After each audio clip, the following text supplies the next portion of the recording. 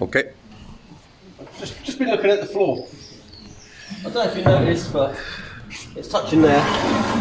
You can see how far away it is there. So I thought I'd just do a little experiment. I'll put this up and I'll just show how. yeah.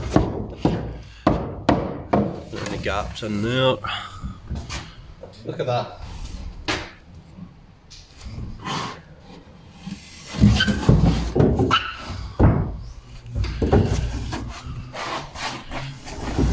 Not so bad there, but then